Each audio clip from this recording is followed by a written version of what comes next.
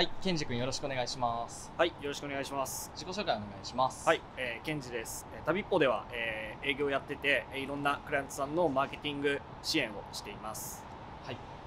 えーそしたら今回が、えー旅人がおすすめする旅グッズということで、ケンジ君のおすすめの旅グッズを紹介してほしいです。はい、えー僕が、えーおすすめする旅のグッズは、えーと圧縮バッグです。お、圧縮バッグ。圧縮バッグのどんなところが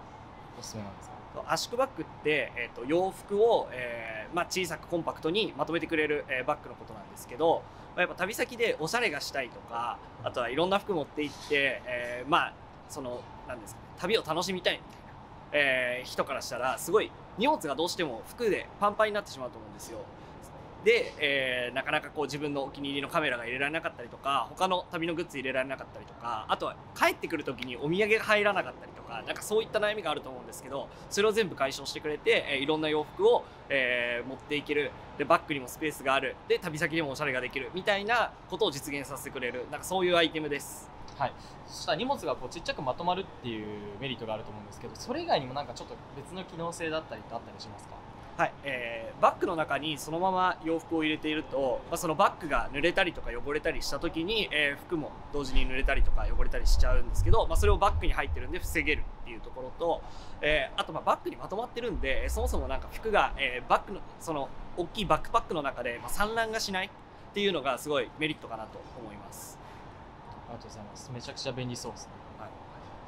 圧縮バッグっていうのは、こう100均とかで売ってるビニールにでできた圧縮袋っていうのとはなんかちょっと違うんですか？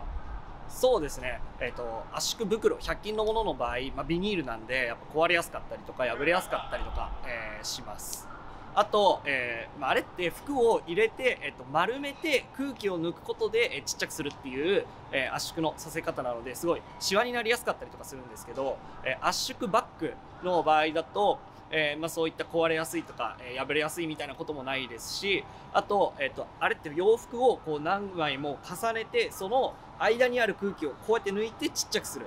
ことで、えー圧縮するので、え洋服自体が丸まることはないんでシワになりにくいっていうところが、えすごい圧縮袋との、え違いでメリットかなと思ってます。ただ、えー、と圧縮バッグのデメリットもあって、まあ、やっぱ圧縮袋よりはどうしてもサイズが大きくなってしまうので、え何かこう